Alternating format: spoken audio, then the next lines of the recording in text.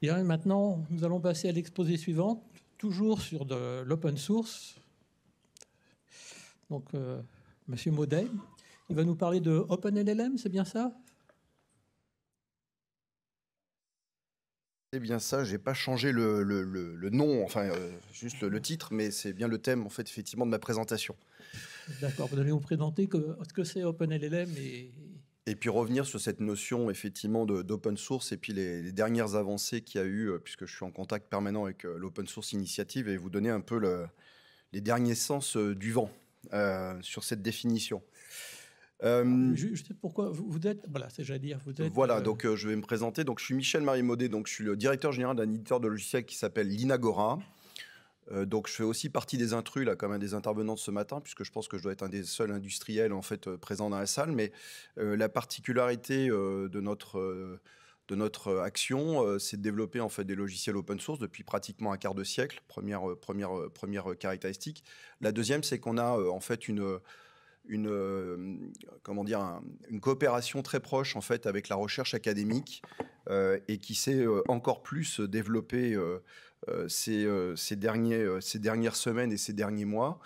euh, à tel point qu'effectivement, donc on a eu euh, l'honneur et la chance là de signer en fait euh, une alliance stratégique avec le CNRS. On est la première PME en fait à être à signer en fait ce type d'accord avec le CNRS, compte tenu en fait des travaux qu'on mène actuellement dans le domaine de l'IA générative alors qui n'est pas nouveau, euh, c'est un peu comme euh, le rappelait Pierre, en fait c'est bien sûr des sciences qui ont beaucoup bougé là ces derniers mois, mais nous on a commencé à peu près euh, il y a huit ans euh, en s'intéressant sur les technologies de transcription de la voix. Et donc on a une solution dès à présent euh, qui est disponible sous licence libre, qui s'appelle Linto, qui est utilisée maintenant, qui est utilisée par un certain nombre de clients, euh, qui, euh, qui est l'objet d'un certain nombre de, projets de recherche menés en commun avec euh, l'IRIT, le Lauria, euh, euh, l'école polytechnique fait partie aussi de nos, nos suspects. euh, voilà. Et puis je vais revenir en fait aussi sur ces coopérations dans le cadre des travaux que l'on mène en fait actuellement. Alors, l'IA, c'est simple. C'est euh, trois ingrédients euh, fondamentaux. C'est des compétences techniques, comme ça a été rappelé par Pierre. C'est des, ressources computationnelles, donc, on a évoqué ce matin et c'est des datas. Et donc les datas aussi, on en a parlé. Et donc si on regarde bien sur ces trois aspects, bah, il y a des enjeux de gouvernance qui sont extrêmement importants. Et donc ce qui se passe en fait aujourd'hui euh, avec dans le domaine de l'IA, bah, c'est une belle transcription finalement de comment évolue notre monde. Donc, euh, et aujourd'hui, euh, et ça a été rappelé aussi ce matin par les, différents intervenants, c'est que ces modèles de langage sont des représentations de nos cultures, de nos valeurs. Et donc, du coup, quand on regarde certains chiffres, euh, on s'aperçoit que moins de 10% des modèles, en fait, aujourd'hui, euh, sont produits sur le territoire européen. Première chose. Et le deuxième, sur la slide de droite, vous voyez en fait, euh, alors on peut souvent taper sur le, sur le dos des GAFAM ou des GAMAM maintenant, mais euh, donc Meta, euh, sur l'AMA 2, en fait, avait quand même, donc ne publie bien sûr pas les datasets, et je vais revenir en fait euh, juste après, mais en fait avait quand même eu euh, euh, donné en fait la répartition des données d'apprentissage. Et ce qu'on s'aperçoit, c'est que là j'ai juste entouré en rouge euh, bah, l'allemand et le français. Bon, ben là, il suffit de. On n'a pas besoin d'être des spécialistes du calcul matriciel pour se rendre compte qu'effectivement, lorsqu'on pèse moins de 1% en fait, de quelque chose, on ne pèse pas grand-chose. Et ce qui fait que. Alors, dans les modèles de langage, ce qui a été, ce qui a été dit à la fois par Pierre et puis les intervenants de ce matin est juste. hein. Sur, le langage, on peut s'en apercevoir. Mais euh, donc aujourd'hui, vous savez que sur les multimodalités, euh, de plus en plus, sur les générations de vidéos, les générations d'images, bah, je vous mets au défi, en fait, aujourd'hui, avec euh, ces modèles-là, de générer, en fait, par exemple, une image d'une maison qui ressemble à une maison, en fait, française. Ou encore mieux, en fait, à une maison qui viendrait du Nord avec des bien belles briques rouges. C'est strictement, en fait, tout simplement impossible, puisque les données, en fait, ne sont pas présentes dans ces modèles. Et donc ça, c'est un, un véritable sujet. Et donc, euh, effectivement, euh, les travaux euh, auxquels nous attachons, c'est en fait de corriger ça, puisque donc on peut bien sûr sur les utilisations générales en fait de l'IA, sur ce qu'on appelle les general purpose, bon, on pourrait accepter effectivement ce type de- de biais ou de préférence, mais dès lors qu'on va en fait s'intéresser à des domaines de, compétences et des industries en fait les plus sensibles, bah, je suppose que tout le monde sera beaucoup plus vigilant à ça. Et puis donc la question de la confiance et ainsi de suite en fait se arrive en fait dans le débat. Alors comment on a fait? Il y a un an en fait un peu sur à peu près jour pour jour euh, j'ai eu l'idée en fait euh, de créer une communauté comme ça se faisait. Moi, ça fait 30 ans que je fais de l'open source. Donc j'ai repris un petit peu, euh, je fais moins ça en fait dans mon quotidien aujourd'hui en tant que directeur général, mais c'est historique. Et donc j'ai posé un manifesto sur Internet en simplement en disant, bah, globalement, si vous intéressez en fait à, l'IA générative et que vous partagez en fait les valeurs de l'open source, venez nous rejoindre. Donc aujourd'hui, cette communauté, elle n'a pas du tout d'entité euh, formel, hein, c'est juste un serveur Discord. Globalement, alors les chiffres s'arrêtent là au mois de janvier, mais actuellement on est plus de 750 en fait personnes participant dans cette communauté.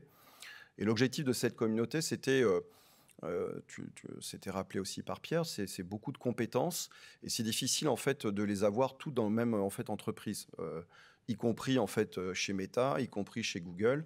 Ils travaillent en fait de plus en plus et ça d'ailleurs tout, le temps en fait avec les universitaires pour avoir le, meilleur en fait combinaison en fait des compétences.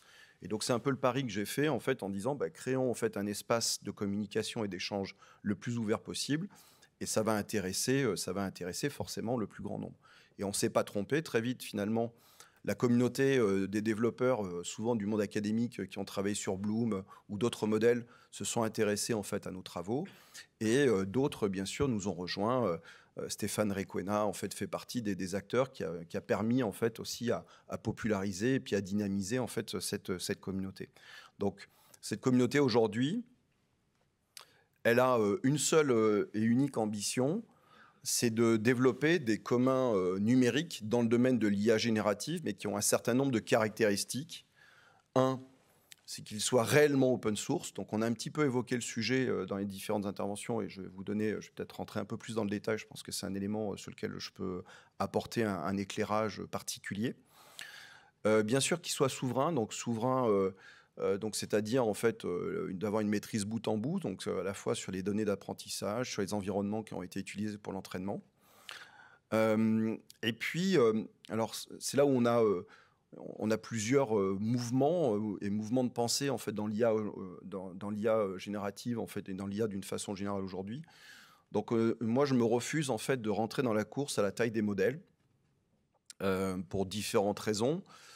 Un c'est que le, et on va essayer donc on va je vais vous expliquer ce qu'on fait actuellement mais on essaie de démontrer que la quantité la quantité est moins importante que la qualité.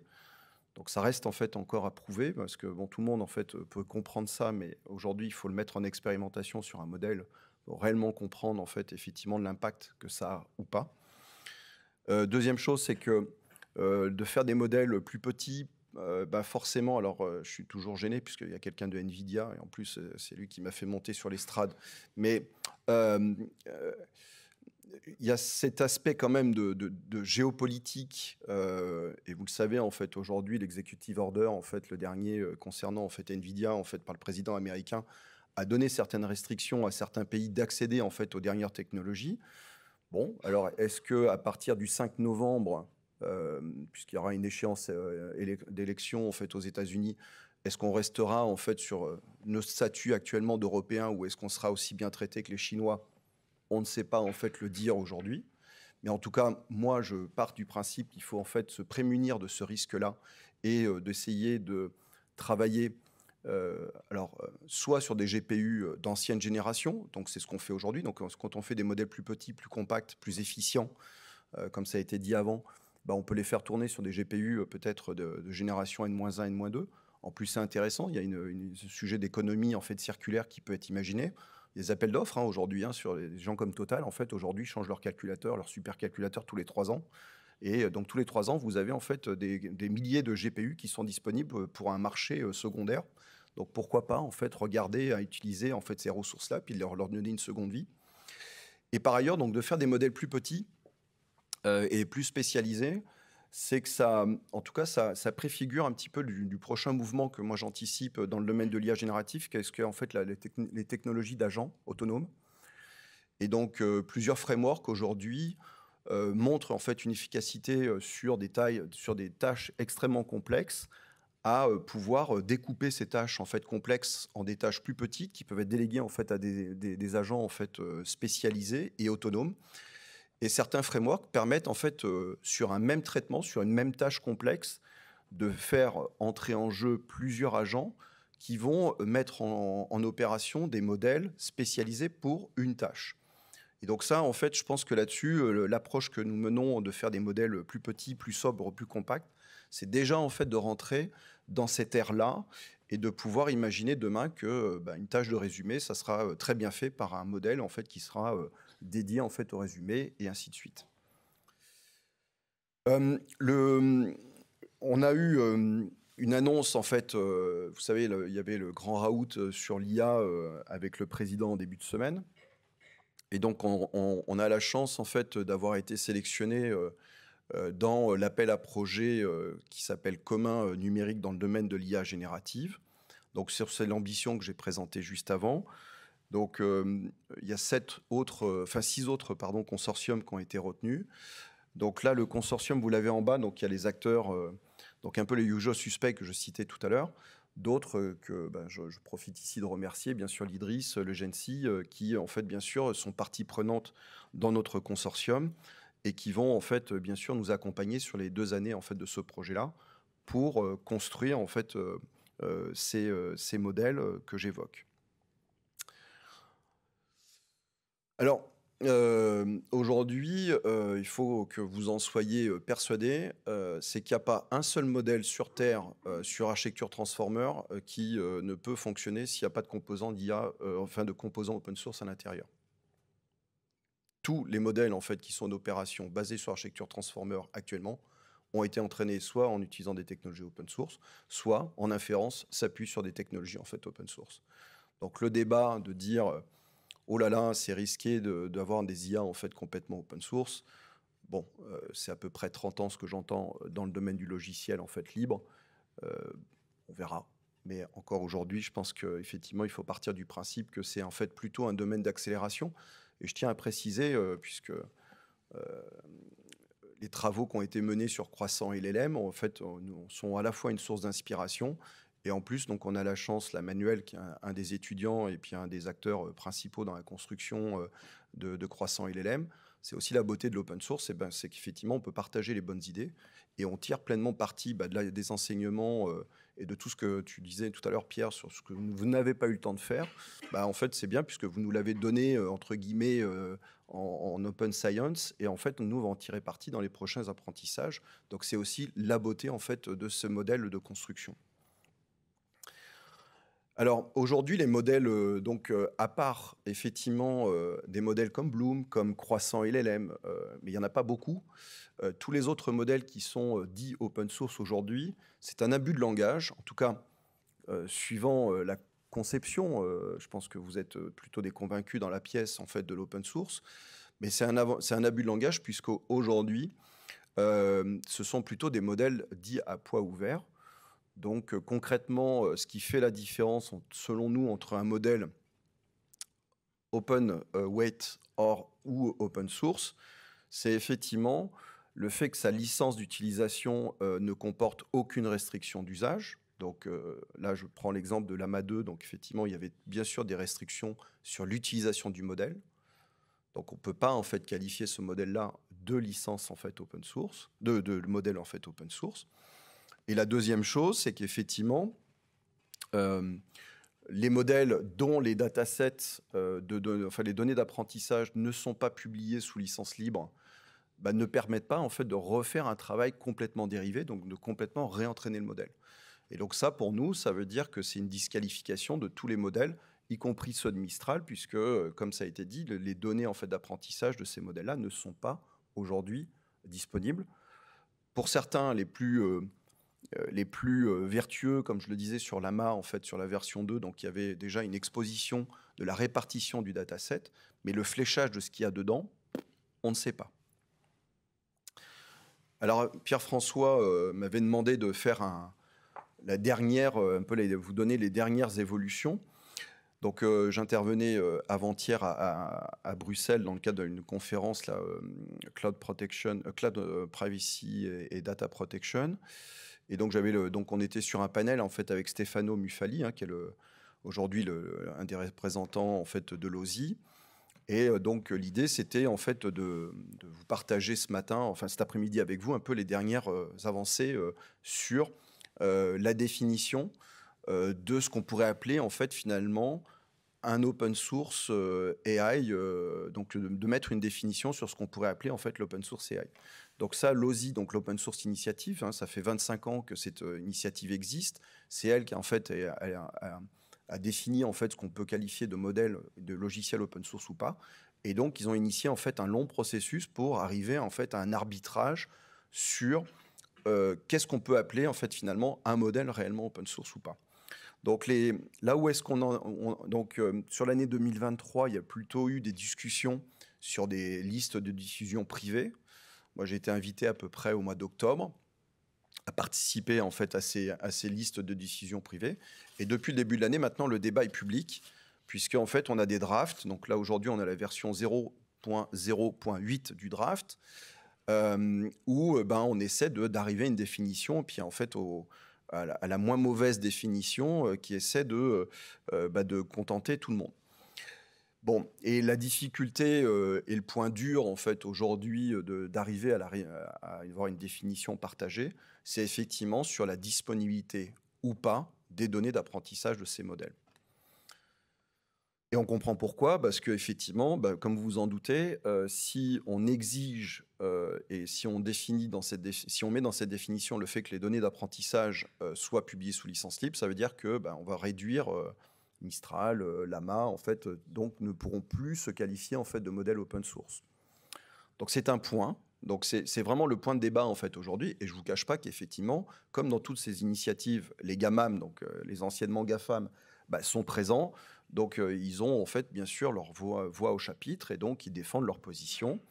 Euh, voilà, mais donc c'est vrai que c'est un, sujet aujourd'hui. Donc au moment où je vous parle, donc euh, tout ce qui est donc là je vous ai mis juste le tableau. Vous verrez si vous allez sur la page internet, vous, avez le lien. Donc, vous, vous, pourrez aller constater par vous-même. Donc, dans les requirements, donc ce qui est obligatoire, donc effectivement, euh, les recettes d'apprentissage, le, sourcing en fait des data. Donc tout ça en fait c'est déjà une avancée par rapport à ce qu'on connaît aujourd'hui puisque les modèles en fait dits open weight aujourd'hui ne donnent pas ce type d'informations. Et, donc du coup euh, donc il y aurait une avancée. Mais par contre, ce qui reste optionnel, c'est la publication en fait des datasets. Donc voilà. Donc euh, Stéphano sait que pour moi c'est un point, un point de problème, donc on, parle très régulièrement. On a encore une, conf, une visioconf mardi prochain et il sera en France euh, là d'ici 15 jours. Et euh, j'espère bien euh, encore lui donner en fait des, quelques arguments. donc pour effectivement essayer de bouger en fait cette définition qui, qui est pour moi essentielle puisque là aujourd'hui on parle bien sûr des, données, des données en fait communes, mais demain quid en fait sur les données personnelles et ainsi de suite. Donc il faut qu'on ait quand même une clarification en fait des définitions pour savoir qui fait quoi et comment. Donc vous l'aurez compris, nous, notre définition, il faut qu'il y ait les trois, euh, trois éléments. Donc une licence en fait ouverte sans restriction, que bien sûr le tooling et en fait le code source du modèle en fait soit publié sous licence libre, et euh, les données d'apprentissage en fait publiées sous licence qui permettent une instruction, euh, une instruction et une, analyse en fait ouverte. Donc nous, on a fait un premier modèle qui était un continual pre-training de Falcon. Donc ça, c'est ce qu'on a fait en fait au mois d'octobre. Donc là, c'était pour nous un, premier, premier exercice euh, qui nous a permis, un, de valider qu'on était capable de faire tourner des jobs sur Jean Zay, puisqu'en fait, au mois de juin l'an dernier, on nous a dit que ce n'était pas possible. Donc, euh, on a essayé de prouver que c'était possible. Euh, en tout cas, pour des acteurs, en fait, peut-être plus éloignés de la recherche académique pure. Première chose. Alors, c'est vrai que, comme ça a été rappelé par, Pierre-François ce matin, nous, tous nos travaux sont destinés, en fait, à à la fois la publication et, et, en fait, qui donne lieu, en fait, à des publications de, de recherche.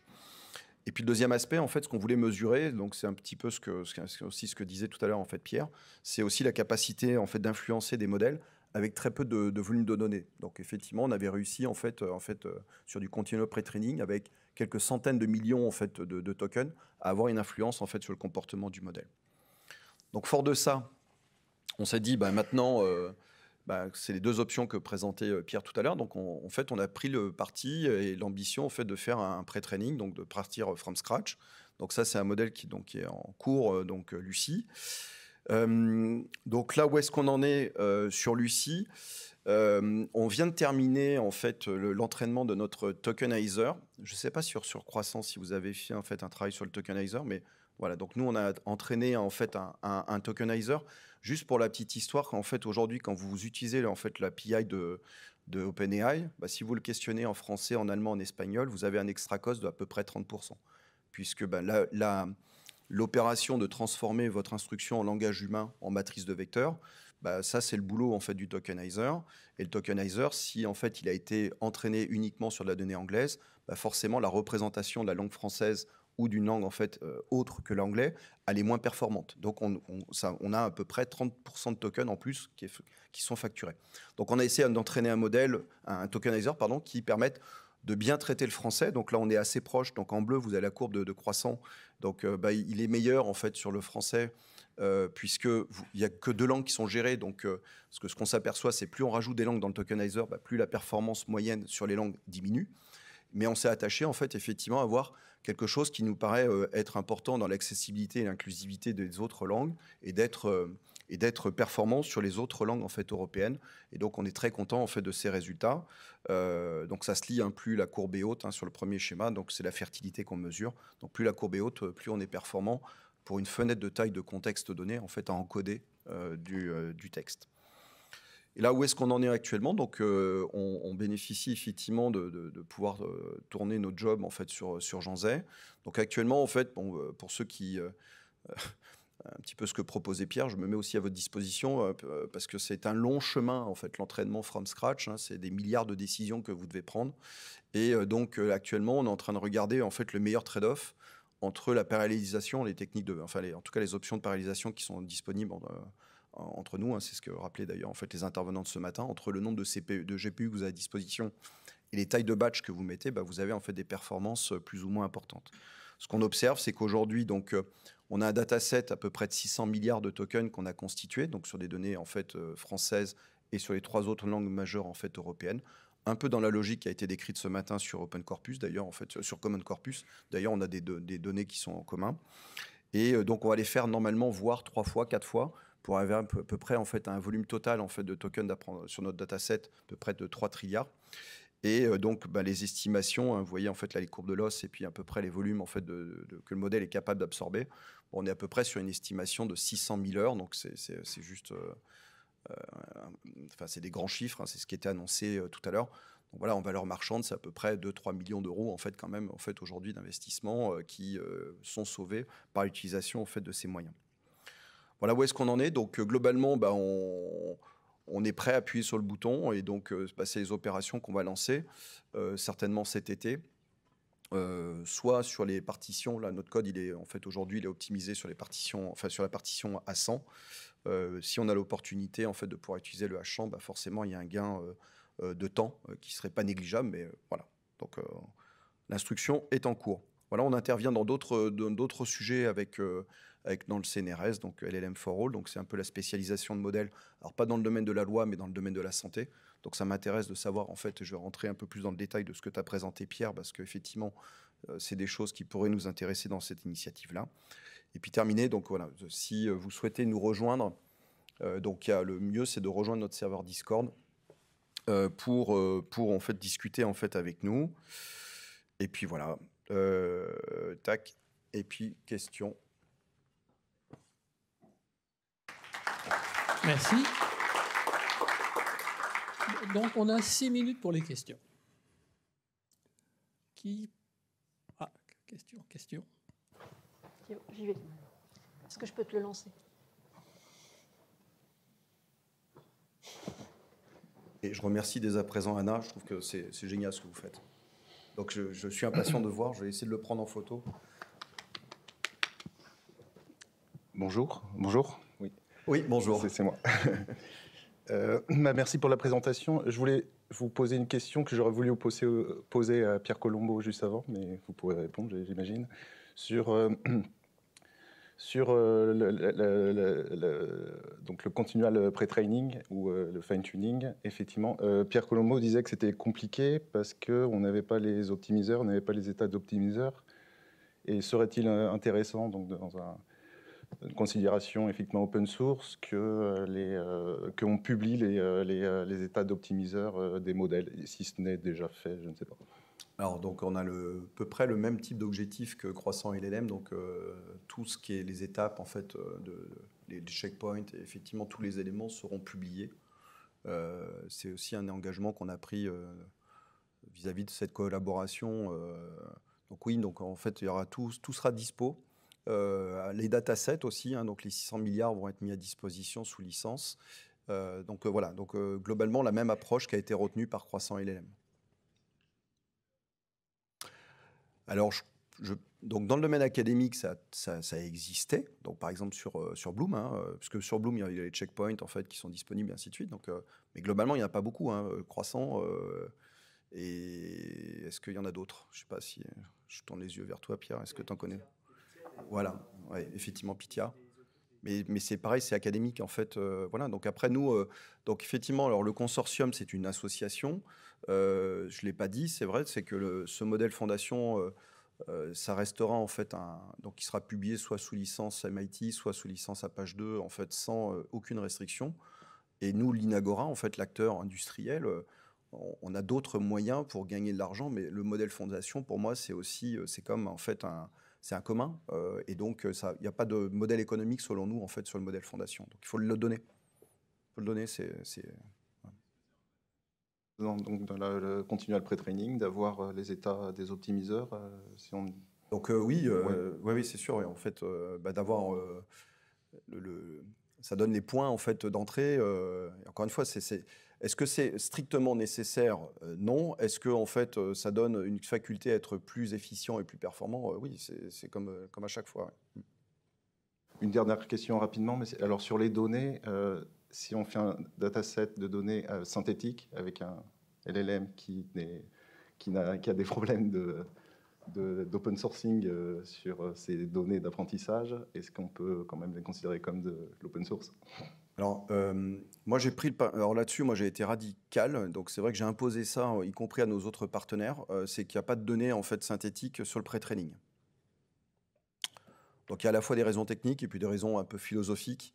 Après, sur la partie euh, instruction, je pense que là, par contre, il y a un vrai plus à utiliser la donnée synthétique. Aujourd'hui, on voulait pas trop, parce qu'on a, on a quand même fait le parti pris d'avoir des données de très haute qualité. Donc, il n'y a pas en fait Common Crawl, il n'y a pas en fait Rapajama, il n'y a pas en fait tous ces trucs-là.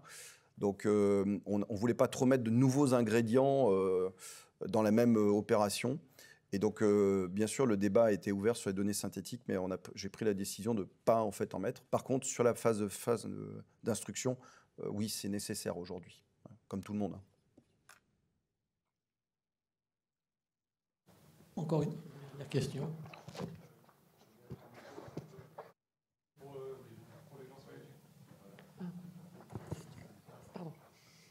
Dans, dans le cadre du consortium, euh, j'ai vu que tu avais marqué que bah, du coup le, le CNRS est acteur. Euh, Est-ce que euh, du coup le- les laboratoires du CNRS peuvent utiliser l'INTO-SST dans le cadre de leurs recherches qui sont en IA Donc, c'est le cas aujourd'hui, hein, par exemple, l'IRIT. hein, L'IRIT utilise déjà en fait nos technologies. hein. Encore une fois, euh, euh, donc c'est vrai que je l'ai pas dit, mais sur la présentation de l'Inagora, euh, 100%, donc il n'y a pas de modèle en fait enterprise. euh, voilà, donc euh, 100% de l'innovation en fait est disponible sur nos serveurs GitHub. Bon, le principe est simple, c'est que comme on a de l'argent public euh, qui, finance ces, acti- ces activités-là, bah, moi c'est simple, un euro d'argent public, ça génère en fait un commun en fait librement accessible pour tout le monde, gratuitement. et, donc si on augmente le- le- les données du modèle et si on, si on peut, euh, suivant certaines sciences, euh, enregistrer des données, enregistrer les textes corrigés, on vous les refile après pour... euh, Alors c'est pas une obligation, Non mais on peut le faire. Mais si coup. vous voulez contribuer à la constitution de datasets, je pense que tout le monde sera très intéressé aujourd'hui pour récolter de la donnée métier. Il, oui. il manque euh, de données un peu, euh, soit du côté SHS, soit du côté euh, de scientifique plus, Donc- plus dur. et du coup, si on a des, des données de, enregistrées, déjà annotées, on pourrait vous les refiler. Quoi. Ah ça oui, bien sûr. Donnant-donnant. Ah oui, oui, tout à fait. Et euh, et l'autre aspect, c'est effectivement des données euh, fraîches, puisque un peu comme ça a été dit ce matin, bah, nos, nos datasets, euh, les données les plus qui tombent sous libre de droit, qui n'ont qu'on peut gérer, en fait, puisque bien sûr, ces datasets, je ne l'ai pas dit, mais, euh, parce que ça a été évoqué ce matin, mais ils respectent le droit, euh, le droit européen euh, et puis le côté éthique.